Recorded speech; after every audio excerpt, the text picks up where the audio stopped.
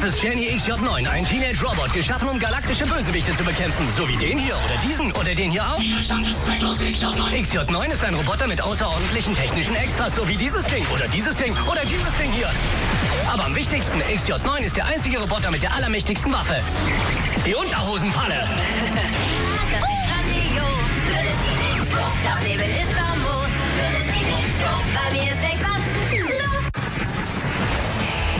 Teenage Robot. Heute um 13.05 Uhr bei Nicktoons.